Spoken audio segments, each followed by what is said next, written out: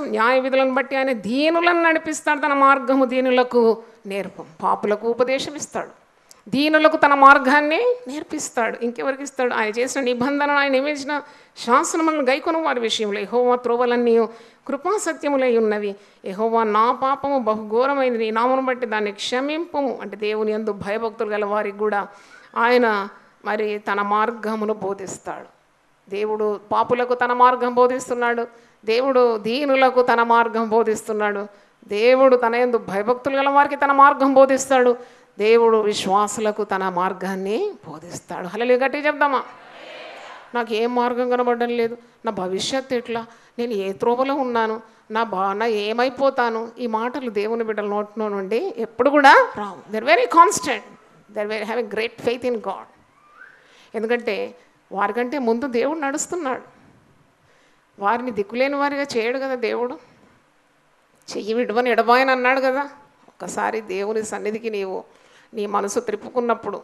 అందుకే అంటాడు మొదటి వచనం లేదు నీ దిక్కునకు చూచి నా ఆత్మను నేను ఎత్తుకొనుచున్నాను. I lift up my spirit towards you Lord అవును దేవుని తట్టు చూసి దేవుని వాక్యాన్ని తట్టు చూసి దేవుని మాటల తట్టు చూసి నీ కృంగుదల నుండి నువ్వు విడుదల పొందాలి అంటే దాని అర్థం ఏంటంటే దేవుడు నిన్ను గురించి ఏం చేస్తున్నాడు? చింతిస్తున్నాడు.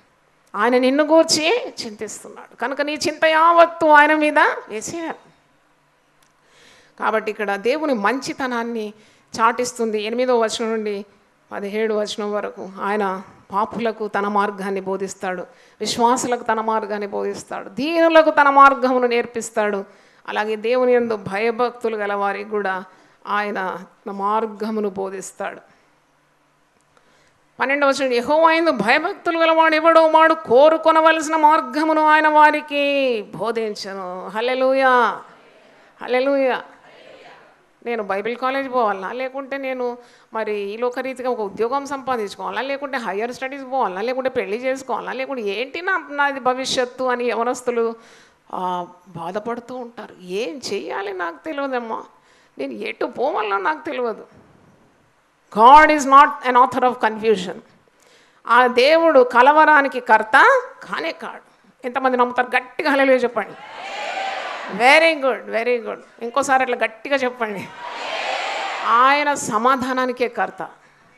ఆయన సమస్త జ్ఞానమునకు మించిన దేవుని సమాధానం నీకు నాకు అనుగ్రహిస్తాడు. Is author of peace is not author of any confusion నువ్వు నిజంగా మోకాళ్ళ మీద ఉండి ప్రార్థన చేసి దేవునితో సన్నిహితమైన సంబంధం కలిగి ఉంటే ఆయన తన ఉపదేశములను నీకు అనుగ్రహిస్తాడు. ఆయన మార్గములను నీకు బయలుపరుస్తాడు. నీ త్రోవను ఆయన స్పష్టపరుస్తాడు. ఆయన నీకు ముందుగా నడుస్తాడు.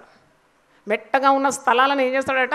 సరళం చేస్తాడట. గొప్ప దేవుడు మనకు ఉన్నాడు. కాబట్టి తప్పకుండా దేవుని మార్గము తన యందు భయభక్తు గలవాడు ఎవడో వాడు కోరుకొనవలసిన మార్గమును ఆయన వారికి వానికి బోధించు.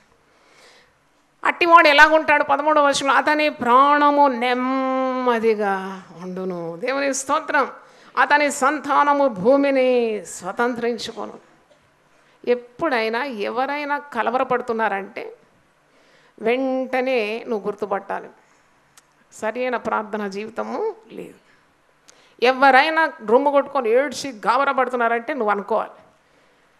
వైద్యుడు రోగం ఏదని నాడి పట్టుకొని చూస్తాడు కదా. నువ్వు పోగానే ఏం చేస్తాడు? నాడి పడతాడు.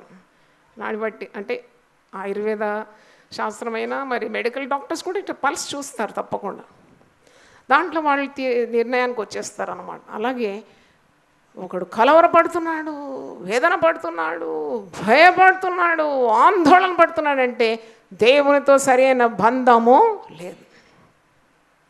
There is no hot line to heaven అనమాట ఫర్ హిమ్ దేవునితో సన్నిహితంగా నడిచిన భక్తులు మనకు నిదర్శనంగా లేరా? అబ్రహాము దేవునికి స్నేహితుడంట. చప్పట్లు కొట్టి దేవుని స్థుతిద్దాం. ఓ Abraham was called the friend of God దేవునికి స్నేహితుడంట. ఒక దగ్గర ఆదికాండం పద్దెనిమిదో అధ్యాయము పదిహేడో వచనంలో మీరు చూడండి. నేను అబ్రహాముకు చెప్పకుండా ఏ కార్యము చేయనంటున్నాడు. పదిహేడో వచనం. అప్పుడు యెహోవా నేను చేయబోవు కార్యము అబ్రహామునకు దాచేదనా బా నాకైతే ఎంత సంతోషం అనిపించిందంటే ఈ మాట చూస్తే దేవునికి దగ్గర హత్తుకొని ఉంటే నీకు తెలియకుండా దేవుడు ఒక పని కూడా చేయడంట అబ్బో అంటే దేశం మీది కరువు రాబోతుందంటే నీకు తెలియజేస్తాడు. నీ కుటుంబానికి కీడు రాబోతుందంటే తెలియజేస్తాడు. నీ బిడ్డ పెళ్ళి కాబోతుంది పలు వ్యక్తి తెలియజేస్తాడు. నీ కుమారుని ఉద్యోగం గురించి తెలియజేస్తాడు. నీ భార్య స్వభావం గురించి తెలియజేస్తాడు. నీ కుటుంబము దీవెనక శాపానిక దారి వెళ్తుందంటే అది తెలియజేస్తాడు. విపత్తు నీ మీదకి రావాల్సిన తెలియజేస్తాడు. ఏ రోగం నేను సోకపోతుందో తెలియజేస్తాడు. అన్నీ తెలియజేస్తాడు. దేవుని దగ్గరగా ఉంటే. జరగబో కార్యమును నేను నా దాసుడైన అబ్రహామునకు దాచెదనా? నేను చేయబో కార్యము నా దాసుడైన అబ్రహామునకు దాచేదనా? దాచాడు. ఇదే ఇదే కార్యము. ఆమోస్ గ్రంథంలో కూడా ఉంది. ఆమోస్ మూడో అధ్యాయము ఏడో వర్షంలో ఆయన తన ప్రవక్తలకు తెలియకుండా ఒక్క పని కూడా చేయండి ఆమోస్ మూడు ఏడు ఏడు వందల యాభై ఆరు పేజ్ నంబర్. పాత నిబంధన seven hundred and fifty six. ఆమోసు మూడు ఏడు. తన సేవకులైన ప్రవక్తలకు తాను సంకల్పించిన దానిని బయలుపరచకుండా ప్రభు అయిన యెహోవా ఏమేయో చేయడు అంత కాన్ఫిడెన్స్ ఉండాలని అంటే దేవునితో దగ్గరగా నడిచినప్పుడే నీకు అంత విశ్వాసం ఉంటుందన్నమాట నేను ఒకసారి మా వారి అమ్మగారు చాలా సీరియస్గా రేచల్ మాథ్యూ గారు మరణ పడకలో ఉన్నారు. అయితే అందరూ కలవరపడుతున్నారు ఇంట్లో.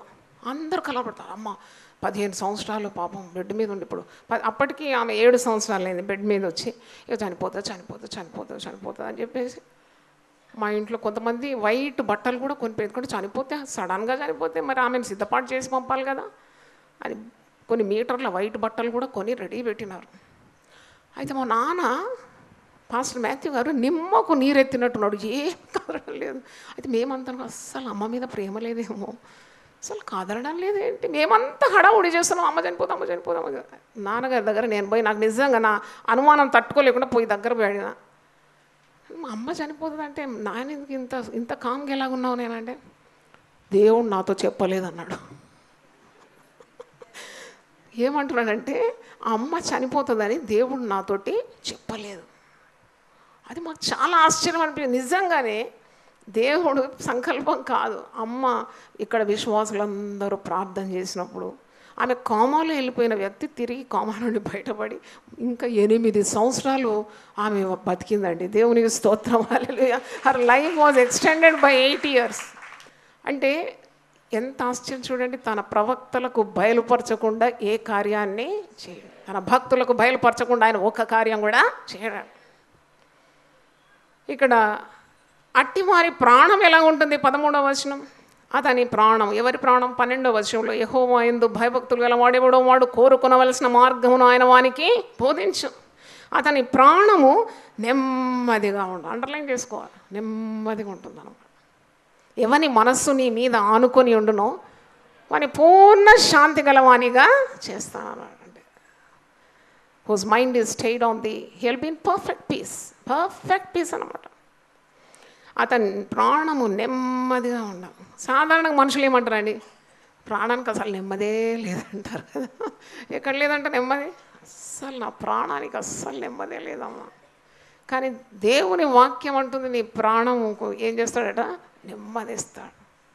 అందుకే ఆయన మంచి కాపరిగా ఉండి నిన్ను నీతి మార్గాల్లో నడిపించి నీ ప్రాణానికి సేద తీర్చి పచ్చిక గల చోట్ల నేను నడిపించి శాంతికరమైన జలముల యుద్ధ మరి ఆయన నిన్ను నడిపించి నీ యొక్క ఆకలి నీ దాహము నీ సేద తీరుస్తూ ఉన్నాడని అర్థం. అంటే లెక్కకు మించి నిన్ను ఆశీర్వదిస్తాడని అర్థం. నీ సంతతిని దీవిస్తా. ఊరికి అనుమానపడదు.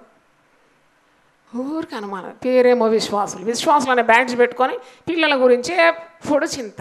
చింత చింత. చింతతోటే సమాధికి దిగుతారు. ఏం లాభం? ఏం లాభం? నీ భారము ఎవరి మీద మోపాలి? దేవుని మోపాలి నువ్వు చక్కగా నడవాలి. నువ్వు సీదా నడు నీ పిల్లలందరూ నీ వెనకనే వస్తారు. ఎట్టు పోరు ఎట్టు పోరు సముద్ర తీరంలో ఈ ఉంటాయి ఏంటది ఎండ్రకాయలు. ఎండ్రకాయలు సీదా ఎప్పుడు నడుస్తుందా? ఎటు నడుస్తుంది? సైడ్కు నడుస్తుందంట. ఆ సైడ్కు నడుస్తుంటే ఆ పిల్లలు కూడా అట్టనే సైడ్కు చిన్న చిన్న ఎండ్రకాయలన్నీ తల్లిదండ్రులు నడిచిన మార్గాలు నడుస్తాయి అన్నమాట. అది మంచి పాఠము అందరికీ. నువ్వు ఎప్పుడు నీ బిడ్డల గురించి చింతించే అవసరం లేదు. సరిగా నడు అంతే. నువ్వు సరిగ్గా నడు నీ వెనక నీ పిల్లలు వచ్చేస్తారు. ఏమంటారు కదా ఆవు ఆవు చేను మేస్తూ ఉంటే దూడ కట్టు మీద మేస్తుందా అని అంటారు. ఆవు వెనుకనే ఉంటుంది బిడ్డ. నేనైతే నమ్ముతున్నా నీ సంతతిని నేను భూమిని స్వతంత్రించుకునే రీతిగా ఆశీర్వదిస్తాను. Don't worry about your children but pray for them you pray for them prayer is the best investment you can give it to your children ప్రార్థన అనేది చాలా గొప్ప పెట్టుబడి నీ పిల్లలకి ఇచ్చేది. దేవునికి స్తోత్రం. హలలుయ ఈ పెట్టుబడి తరగదు అరగదు. ఇది తరతరాలకు ఉండేది కాబట్టి నీవు చింతించకూడదు. నీ ప్రాణం ఎలాగుండాలి? నెమ్మదిగా ఉండాలి క్రైస్తవులు అంటారు ఇంట్లో ఎంత గందరగోళం ఉంటుందో ఎంత గందరగోళం. సామాన్లు ఎత్తేస్తారు. కొట్టుకుంటారంట తిట్టుకుంటారంట బట్టలు చెప్పుకుంటారంట. రో ఇంట్లో పొరులుతారంట. ఏంటది? అక్కడ ఏసు ఉన్నాడా? అక్కడ సాతాను ఏం చేస్తుంది? తాండవం ఆడుతుంది తాండవం ఆడుతుంది కథకళి చేస్తుంది సాతాను అక్కడ. ఎందుకంటే దేవునికి చోటే లేదు అక్కడ. ఒకసారి అడిగినాను నా అనుమానం తట్టుకోలేకుండా మా నాన్నగారిని అడిగినాను. చిన్నప్పుడు చాలా ప్రశ్నలు అడిగేదాన్ని. నాన్న ఎందుకు క్రైస్తవుల ఇంట్లో కొట్లాటలు ఉంటాయి? అక్కడ మా ఇంటి పక్కనే చాలామంది అన్యులు ఉన్నారు. ఎప్పుడు పిన్ను పడితే కూడా శబ్దం వస్తుంది. ఎప్పుడు వాళ్ళ ఇంట్లో మరి గొడవలు ఉండవు. క్రైస్తవుల ఇంట్లోనే ఎందుకు డాడీ ఎందుకు కొట్లాటలు ఉంటాయి? అంటే మా నాన్న మంచి సమాధానం ఇచ్చాడు. ఎప్పుడు మర్చిపోలేదు. అన్నాడు అనమాట క్రైస్తవ ఇంట్లోనే సైతానికి పని ఉంది. అందుకే సాతా సాతాను గర్జించే సింహంలాగా సాతా దేవుని బిడ్డలు వెనుకనే ఉంటాడని. అది గెలవాలి అన్నాడు. దేవుని స్తోత్రం. అలెలుయ కాబట్టి ఈ ప్రాణము నీకు నెమ్మదిగా ఉండాలి. నీ సంతానము దీపింపబడాలి అంటే నువ్వు దేవుని ఎందు భయభక్తులు కలిగి ఉంటే దేవుడు నీ వల్ల కోరుకున్న మార్గాన్ని నీకు బోధిస్తాడు. పద్నాలుగో చూడండి ఎహోవా మర్మము ఆయన ఎందు భయభక్తులు గల వారికి తెలిసి ఉన్నది. ఆయన తన నిబంధనను వారికి తెలియజేయని. ఎహోవా మర్మము తెలుసు అంట దేవుని బిడ్డలకు. అబ్బా, దేవుడు అంటే ఏంటండి మాటనా ముచ్చటనా? గొప్ప దేవుని మనసులో ఏముందో తలంపులో ఏముందో ఆయన ఏమైతే ఆలోచిస్తున్నాడో ఆయన మర్మాలు దేవుని ఎందుకు భయభక్తులు గలవారు గుర్తుపట్టేస్తారంట. చప్పట్లు కొట్టి దేవుని స్తుతించు ఏమో ఏంటో నాకు తెలియదు ఇట్లా అన్నారంట దేవుని బిడ్డలు. దేవుని స్తోత్రం. వాళ్ళకి అన్నీ తెలుసు అనమాట వాడు ఆత్మచేత నడిపింపబడుతున్నాడు కాబట్టి అన్నిటిని వివేచించే శక్తి దేవుని బిడ్డలకు ఉన్నది. హోవా మర్మము. దేవుని ఎందు భయభక్తుల వారికి తెలిసే ఉన్నది. తన నిబంధనను దేవుడు వారికి తెలియజేస్తూ ఉన్నాడు. పదిహేను వచనం నా కను దృష్టి ఎల్లప్పుడూ యహోవా వైపునకే తిరిగి ఉన్నది. మొదటి వచనంలో ఏమున్నది? నీ దిక్కునకు నా ఆత్మను నేను ఎత్తుకోవచ్చు ఇక్కడ ఏమంటున్నాడు?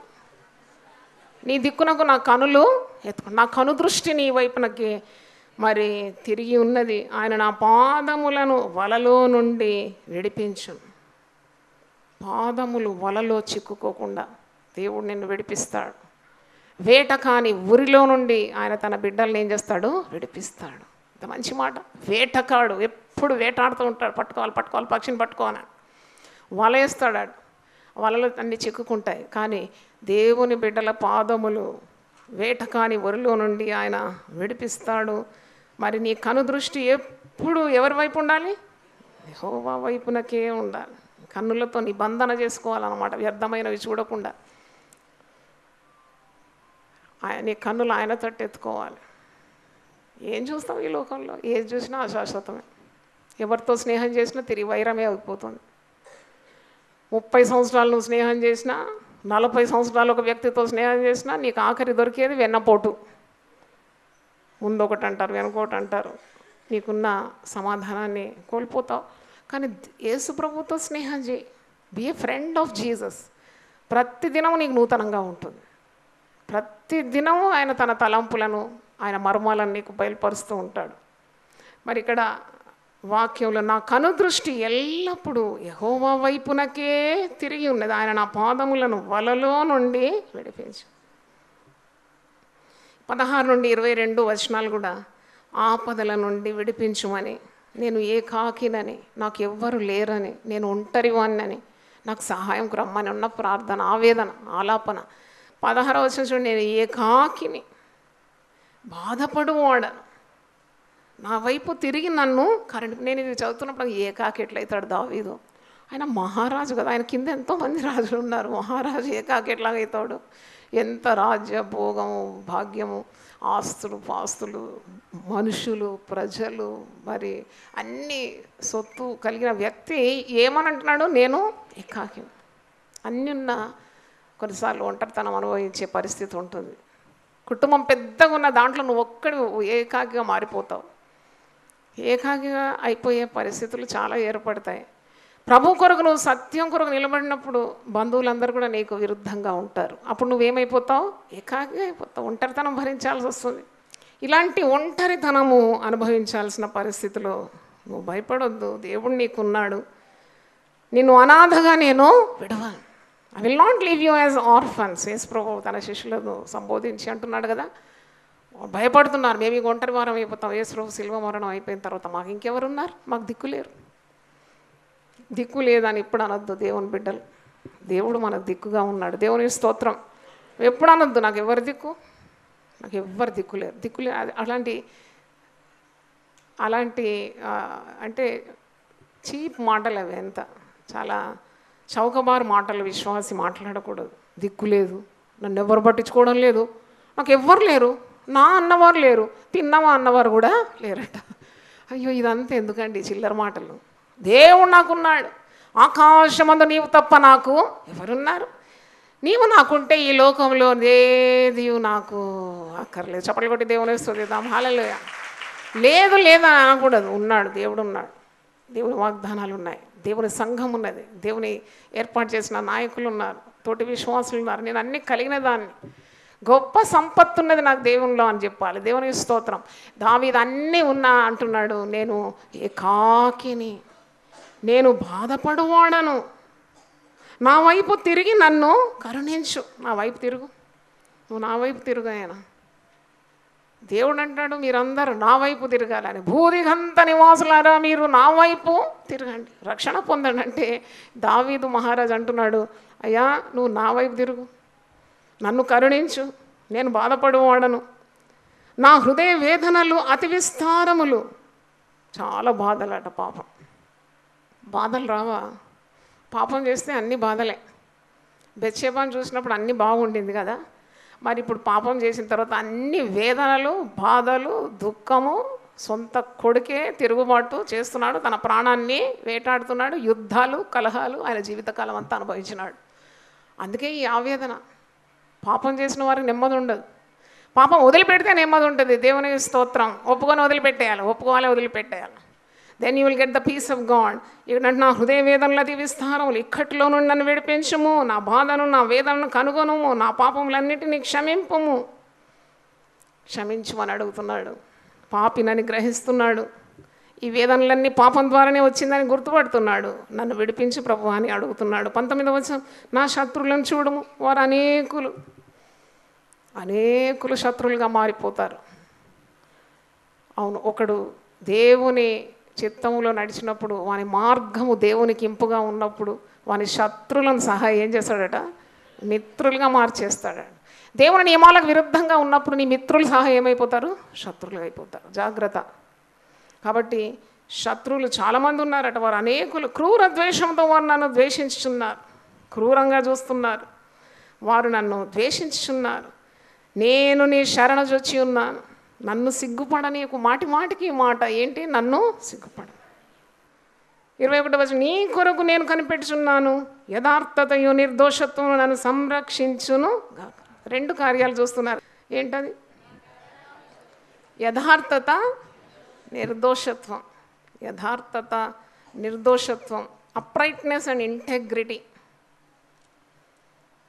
ఆ యథార్థత నిన్ను దేవుని మార్గంలో నడిపిస్తుంది. Go in the shepherd's way కాపరి నడిచిన మార్గంలో నడువు అని యథార్థత నీతో అంటుందట. సంరక్షణ ఆ నిర్దోషత్వము మరి ఎల్లప్పుడూ నిన్ను నీ భక్తి జీవితాన్ని కాపాడుతుంది యథార్థంగా ప్రవర్తించడానికి నేర్పిస్తుంది. రెండు కార్యాలు యథార్థత నిర్దోషత్వము నేను నడిపిస్తుంది. ఎందుకంటే యథార్థవంతులకు ఆయన ఏ మేలు చేయక మానడు. పవిత్రంగా నడుచుకునే వారు నిర్దోషంగా నడుచుకున్న వారు ఎన్నడూ నశించరని వాక్యంలో ఉంది. ఎందుకంటే దేవుడు అన్యాయము చేయడు. ఆ మాట కూడా మీకు గుర్తు చేయాలి. యోగు గ్రంథము నాలుగో అధ్యాయంలో ఉంది. నీ దేవుని ఎందు భయభక్తి కలిగి ఉంటే నీ భక్తి నీకు ధైర్యాన్ని ఇస్తుంది. యోగు గ్రంథం నాలుగో అధ్యాయము ఆరో వచనం. జోబ్ ఫోర్ సిక్స్ నీ భక్తి నీకు ధైర్యం పుట్టింపదా? నీ యథార్థ ప్రవర్తన నీ నిరీక్షణకు ఆధారము కాదా? బా ఇంత పెద్ద మాట అండి భక్తి ఏమిస్తుందండి అని అనుకుంటారా? భక్తి మీకు ఏమిస్తుంది ధైర్యం ఇస్తుంది. నీ భక్తి నీకు ధైర్యం ఇస్తుంది. నీ యథార్థ ప్రవర్తన నీ నిరీక్షణకు ఆధారం అయిపోతుంది యోబు ముప్పై నాలుగు చూడండి. జోబ్ థర్టీ ఫోర్ టెన్ విజ్ఞానం గల మనుషులారా నా మాట ఆలకించుడి. దేవుడు అన్యాయము చేయుట అసంభవము. సర్వశక్తుడు దుష్కార్యము చేయుట అసంభవము. నరుల క్రియలకు తగినట్టుగా ఫలము ఆయన వారికి ఇచ్చును. అందరికీ వారి వారి మార్గములను బట్టి వారికి ఫలం ఇచ్చును. దేవుడు ఏమాత్రమును దుష్కార్యము చేయడు. సర్వశక్తుడు న్యాయము తప్పడు. అందుకే యథార్థత నీ భక్తి నీ నీతి నీ నిర్దోషత్వం నిన్ను ఎప్పుడు కాపాడుతుంది. భక్తి నిన్ను కాపాడుతుంది. నీకు ధైర్యాన్ని ఇస్తుంది. నీ యథార్థత నీ నిర్దోషత్వం నిన్ను సంరక్షిస్తుందని ఇక్కడ అంటున్నాడు. ఇరవై రెండవ వచనం దేవా వారి బాధలన్నింటిలో నుండి ఇస్రాయేళ్ళను విమోచి. ఇంతవరకు ఆయన సొంత ప్రార్థన చేసినాడు వ్యక్తిగత ప్రార్థన. ఆఖరి వచనంలో ఇస్రాయేల్ ప్రజలందరి కొరకు ప్రార్థన చేస్తున్నాడు. దేవుని స్తోత్రం నువ్వు ఎంత నీ కొరకు ప్రార్థన చేసినా నీ ప్రజల కొరకు కూడా నువ్వు ప్రార్థన చేయాలి. భారతదేశం కొరకు ప్రార్థన చేయాలి. చూడండి ఆ దావీదు భక్తుడు ఆయన సంగతి ఇరవై ఒక్క వచనాలు కూడా ఆయన కొరకు ఉన్న ప్రార్థనే ఇరవై రెండు ఆఖరి వచనంలో ఇస్రాయేల్ ప్రజల కొరకు ఒక చిన్న ప్రార్థన చేస్తున్నాడు. ఏంటంటే దేవా వారికి బాధలు ఉన్నాయి చాలా కఠిన బాధలు ఉన్నాయి నా ప్రజలకు. ఇస్రాయేలులను కూడా బాధలన్నింటిలో నుండి విడిపించు. ఇస్రాయేల్ ప్రజలను నీవు విమోచింపని మంచి ప్రార్థన. So however much you pray for yourself don't forget to pray for your people for your land for the country your residing in అంటే నీ దేశం కొరకు కూడా నువ్వు ప్రార్థన చేసే బాధ్యత నీకుంది. ఇరవై రెండు వచనాల ద్వారా దేవుడు మనతో మాట్లాడినాడు. మొదటి ఏడు వచనాలు దేవుని నడిపింపు కొరకున్న ప్రార్థన. తర్వాత ఎనిమిది నుండి పదిహేను వచనాలు దేవుని మంచితనాన్ని జ్ఞాపకం చేసే ప్రార్థన. తర్వాత పదహారు నుండి ఇరవై రెండు వచనాలు ఆపదల్లో నుండి విడిపించడానికి ఉన్న విజ్ఞాపన. నేను ముగిస్తున్నాను. మరి ప్రార్థన చేసుకుందాం. చేతులెత్తి ప్రార్థన చేద్దాం ప్రభు నీ పరిశుద్ధ నామనకు స్తోత్రం. విశ్వాసులు అనే పేరుతో మేము ఉన్నాము ఈ లోకంలో. జీవవాక్యమును పట్టుకొని వక్రజనం మధ్యలో జ్యోతుల వలె మేము ప్రకాశించాలి. మార్గము నీవై ఉన్నావు నాయన. సత్యము నీవై ఉన్నావు. జీవము నీవై ఉన్నావు. మా మార్గముల మీద నీ వెలుగు ప్రకాశింపజేస్తానన్నావు. మా పాదములు తొట్టిల్లదన్నావు. మేము ఇరుకున పడమన్నావు ప్రభువ. వేట కాని ఉరిలో నుండి మమ్మల్ని విడిపిస్తానన్నావు. మా పాదములు జారవని సెలవిచ్చిన దేవుడు. నిత్యము నడిపిస్తానని వాగ్దానం ఇచ్చిన దేవుడు. మేము అనాథులము కాము ప్రభువ. మేము దిక్కు లేని వారం అంతకంటే కాదు ప్రభువ. మాకు నాయకుడవై ముందు నడిచే దేవుడవై ఉన్నావు ఇదిగో నేను నీకంటే ముందుగా వెళ్తున్నాను. ఎంత మంచి మాట. ఇదిగో నా దూత నీకంటే ముందుగా వెళ్తుంది. నీకు మార్గము సరళము చేస్తుంది. నీ మార్గంలో ఉన్న అడ్డుల ఆటంకాలన్నీ తొలగిస్తుంది. మెట్టగా ఉన్న స్థలాలను నేను సరళం చేస్తాను. ఇనుప గడియలను విడగొడతాను. ఇత్తడి తలుపులను పగలగొడతానన్నాడు. అంధకారంలో దాచించిన నిధులను నీకు అనుగ్రహిస్తాను ఎంత మంచి వాగ్దానాలు మనకున్నాయి ప్రభువ. నీకు స్తోత్రం. మా శత్రువుల గురించిన చింతగా శత్రుల కొరకు ప్రార్థన చేయడానికి సహాయం దయచేయండి. అన్నిటి మీద విజయము నీ బిడ్డలకు అనుగ్రహించే దేవుడవై ఉన్నావు. నీ మంచితనాన్ని మేము జ్ఞాపకం చేసుకోవడానికి కృప దయచేయండి. ప్రభువా నీవు మమ్మను జ్ఞాపకము చేసుకుంటానని సెలవిచ్చిన దేవుడు. మేము చేసిన హేయ కార్యాల పాపాలను జ్ఞాపకం చేసుకున్నామని సెలవిచ్చినావు. అయితే మమ్ములను మాత్రం అరచేతిలో చెక్కుని నిత్యము మమ్మల్ని చూస్తూ ఉన్నావు ప్రభువ. నీ దిక్కునకి మా ఆత్మను ఎత్తుకుంటున్నాం. నీ మీదనే మా దృష్టి నిలుపుతున్నాం ప్రభువ. నీ తట్టే మా కన్నులు ఎత్తుతున్నాం ప్రభువ. నీవు తప్ప మాకు ఆశ్రయము లేదు నాయన. బాధల్లో నుండి విడిపించే గొప్ప దేవుడవై ఉన్నావు. ఆయన నీకు స్తోత్రం. విన్న వాక్యం కొరకు నేను స్థుతిస్తున్నాను టీవీ ద్వారా విన్నవారిని కూడా ఆత్మలో బలపరిచినారని నమ్ముతున్నాను. ఈరోజు తండ్రి వచ్చిన బిడ్డలందరి తల మీద నీ హస్తం ఉంచి వారిని వారి కుటుంబాలను ఆశీర్వదించి. రక్షణ నిశ్చయిత దయచేయండి. నీ మార్గము వారికి ఉపదేశించుమని వారి నడవలసిన మార్గం వారు కోనుకోవలసిన మార్గము వారికి బోధించుమని ఏ నామములు అడుగుతున్నాను తండ్రి. ఆమె దేవుడు మన సమృద్ధిగా దీవించు